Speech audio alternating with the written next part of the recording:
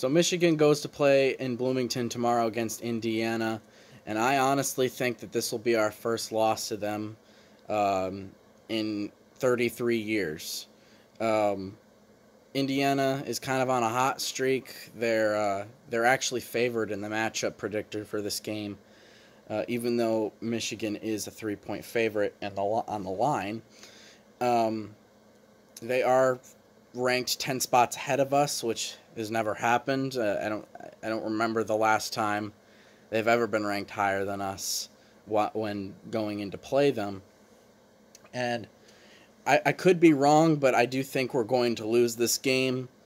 Um, they're on a hot streak. They beat Penn State, you know, and then they beat Rutgers last week. It wasn't the greatest performance against Rutgers, but the Penn State game was impressive, even though I don't think that that was a touchdown. I think Penn State got screwed. But still, it was a really good performance by Indiana in the end. Um, and Penn State is still a decent team, so uh, I'm not going to say that Penn State isn't a good team and have Indiana just, you know, they got lucky because Penn State was actually not as good as people thought they were going to be. Um, Indiana's still a good team. They're undefeated right now. They get they you know they have not really home field advantage because there's not going to be any fans, but um, Michigan's going into this game against Indiana, um, coming off a loss to Michigan State last week. So we should use that as fuel uh, to, you know, and to, to just go into that game and and uh, and dominate. Um, Indiana has a very strong uh, offense when it, especially when it comes to Michael Penix Jr., their quarterback. They've got fast receivers. Our defense, our secondary, very weak. Um, it's been our weakest point other than the special teams like kicking field goals. It's our weakest point on the field. We're all right at stopping the run, but when it comes to stopping the pass, we allow over 260 yards passing on average in two games. Uh, so it's not good. Offense, I loved our offense in the first game, but after seeing them in this second game, um, I'm honestly I'm honestly scared um, because um, our offense just didn't play well against Michigan State. We couldn't run the ball. Um, Joe Milton was throwing inaccurate passes. It just wasn't a good game offensively, um, and it wasn't enough to beat Michigan State. And it's it was honestly embarrassing losing to Michigan State because we shouldn't have lost um, especially after they just came off beating or losing to Rutgers in week one. How do you lose to a team that lost to Rutgers? I mean, you're a bad team at that point. Um, but let me let me know what you guys think because uh, I think this game is going to be difficult. Um, most predictions I see still have Michigan winning.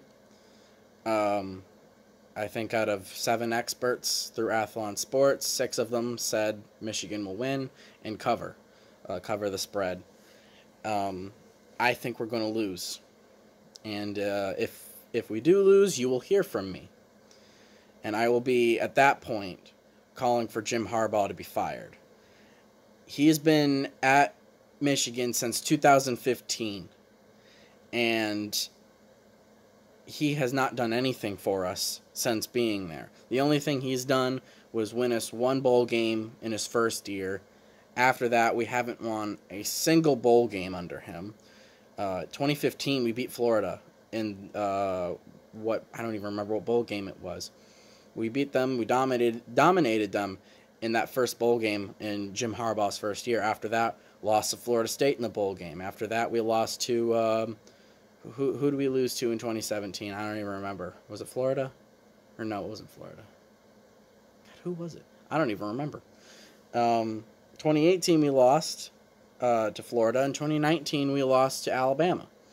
So we're one in four with Jim Harbaugh in in bowl games, which isn't good. We need to do better with that.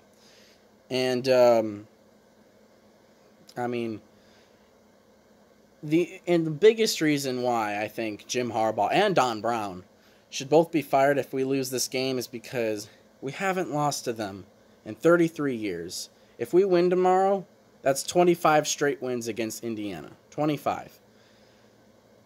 Not even Rich Rodriguez and Brady Hoke lost to Indiana when they were coaches at Michigan, and they were pretty bad for us.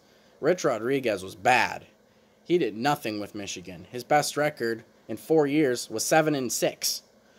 Um, his first year, we won three games. He still beat Indiana.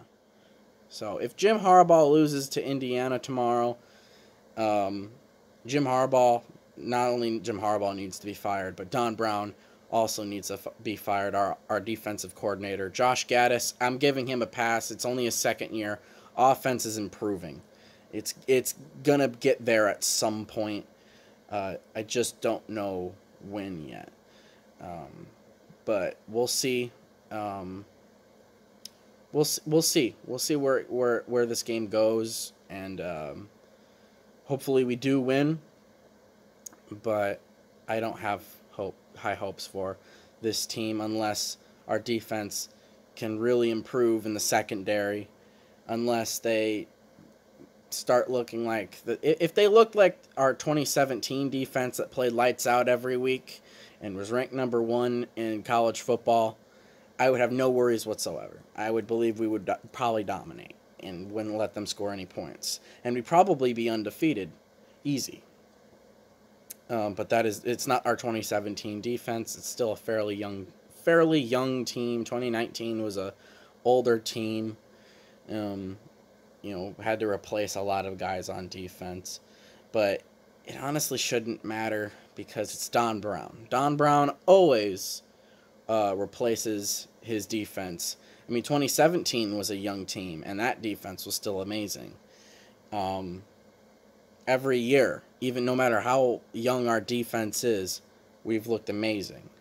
Uh, this this year is we haven't looked good on defense at all, and on offense we're 50-50. We're uh, we're uh, will we show up and play or will we not? We showed up in the first game, didn't show up in the second game. So let me know what you guys think. Will we beat Indiana? Will the streak continue? Will we have our 25th straight win? Or will they have their first win against us in 33 years?